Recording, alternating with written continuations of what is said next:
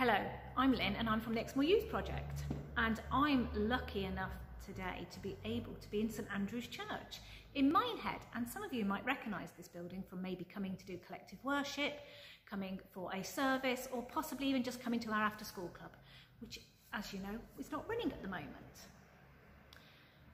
So I thought while it was nice and quiet in here I might have a chat with you about friendship. We all have friends, whether we're teachers or pupils or adults or children, we all have friends. And I'd like you to just think for a moment about how you became friends with someone. How did you become friends with someone? Hmm. I'd like to take this opportunity now to introduce you to a friend of mine. Hello, I am Jules. I work for Minehead Parish as their children and families worker and I'm also very, very blessed to be able to call Lynne, my colleague, my best friend. Jules, can I ask you a question? You can, Lynne. What do you think makes a friendship? Ooh, that's a tricky one.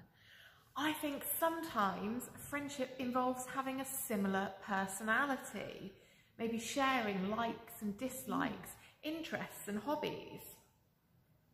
Yeah, so mm, we have interests and hobbies in common, don't we? We do. Obviously, it's lockdown at the moment, but normally Lynne and I would be off exploring for the weekend. We'd take ourselves off to a different beach to explore it or walk some of the southwest coastal path.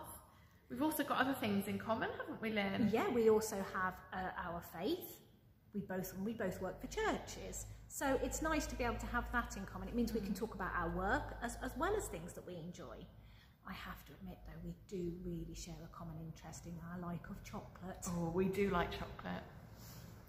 So, do you have a best friend? And why are you best friends? I'll give you a moment just to think about that. Do you have a best friend and why are you best friends? And I've got a question for you as well can you have more than just one friend? Personally, I think it's quite nice to have a big group of friends. Everybody brings something slightly different to a friendship. And also, you might have people that you've got one person you're close to, but there might be other people you enjoy playing with in the playground or maybe talking to about different things. You might have more than one person that you know who shares those similar interests and hobbies that you do. But a strong friendship enjoys, involves actions, doing something for someone else while expecting nothing in return. That's quite hard. And that's very difficult to do, yeah. So maybe one day that you have something nice in your lunchbox and you've shared it before with your friends, but you haven't expected them to do something back in return for you. Anything else? Faithfulness is also uh, important in a good friendship, then Because mm. without, without that, we can often feel quite lonely and left out. It's nice to have somebody that you know you can just go and talk to, talk about your worries with. And that can be trust as well, mm, Absolutely. you can also trust somebody that you know will be there for you. Yeah. But sometimes we do fall out with our friends, whether we mean to or, or not sometimes we can get a bit grumpy and upset and maybe say the wrong thing. And that's not always a good thing. No. And on that note, Lynne, I'm off to help a, help a friend out at the moment. So I'm going to leave Lynne uh, to tell you a Bible story all about friendship. I'll see you soon, Lynne. Bye, Jules. I want to tell you a story about Jesus and his disciples who were out walking one day. And when they, Jesus was walking around preaching, he would often go and call in on certain villages. And this is a story about that. Jesus entered a town called Capernaum.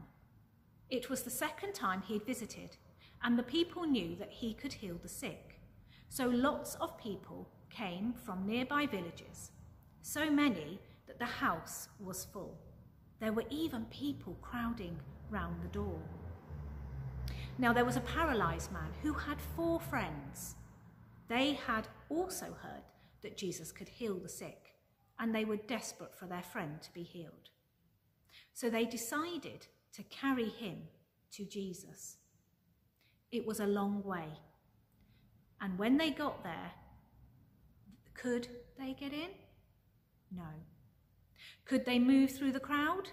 No. What were they going to do? They had come this far and they were hot and tired and now they couldn't get to see Jesus. They walked round to the right but couldn't get through the crowd. They tried the left but there was too many people. So what was left? One of the friends looked up and saw the stairs that run along, alongside the house that lead up to the roof. Let's take him up to the roof. But what can we do when we get there? asked another friend. Get some rope and we can lower him down. We can remove some of the roof tiles. So they got some rope, they climbed up to the roof, carrying their friend, and began to remove the tiles until they had made a hole big enough to lower him down. When Jesus saw the faith of his friends, he said to the paralyzed man, Friend, your sins are forgiven. Get up, take your mat, and go home. And that's what the man did. He got up, walked out of the house, found his friends, and walked home praising God. Now, that's what I call friendship. Carrying somebody a long way because you desperately know that you want to get your friend healed. I'd like to finish with a prayer. So if you'd just like to close your eyes, have a moment of silence, we will pray. Dear Lord, we thank you for our friends, for all the fun we have together, for all the times we can meet in school, and Lord, when we are allowed, we can meet out of school. Sometimes, Lord, we aren't always nice and kind to our friends, and we can get upset and we can upset them. Help us to be nice and more thoughtful to our friends. And when we do fall out, help us to find the strength to say sorry and sort our problems out. Amen.